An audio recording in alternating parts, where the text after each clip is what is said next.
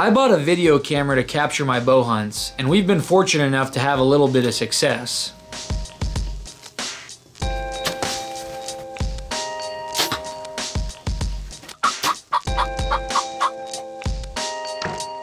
What I didn't realize was how bad of a gun hunter I was.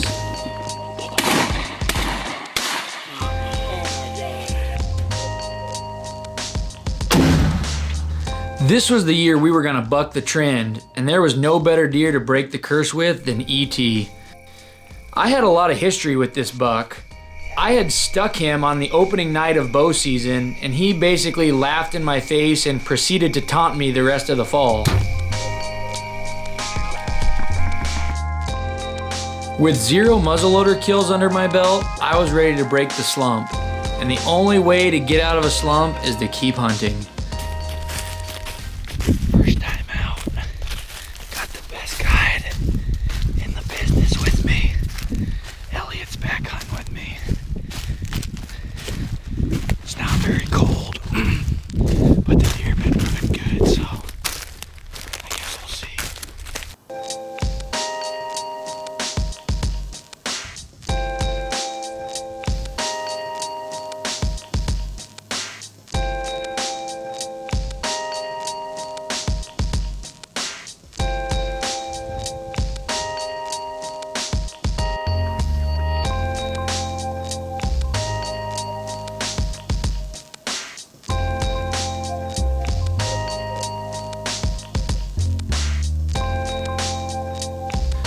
The first half of the season absolutely stunk. We hunted our butts off and barely saw a deer older than two and a half years old. Well, it's New Year's Eve. Muzzle season started off a little slow again. We've had a lot of south winds and 40 degree days. We've had five south winds in a row, and today it's northwest, and it's supposed to cool down here in the coming days. So we're sneaking into the stand we think we can kill ET in. After the first of the year, it was like a light switch turned on. We started seeing a lot of the deer getting grouped up, and they started moving an hour, two hours before light ended.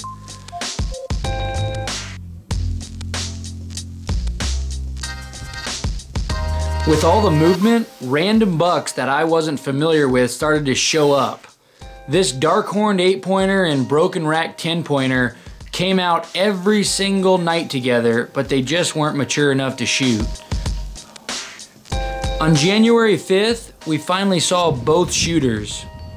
First, the Big Ten came out, and then, right at last light, ET walked across the top of our farm.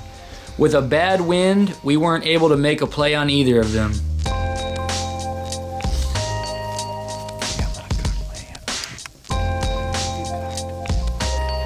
Defeated and licking our wounds, we went out on the last night of the year to fill doe tags.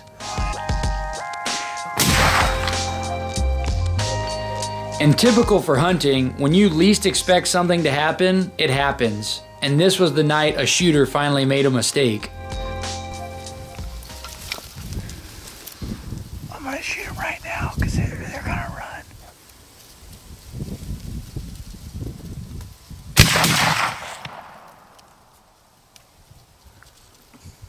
Did I drop him?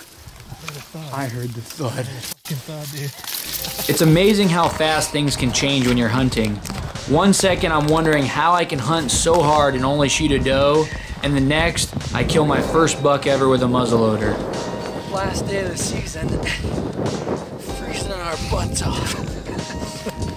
This randomness is what makes hunting hunting, and this randomness is what has me hooked.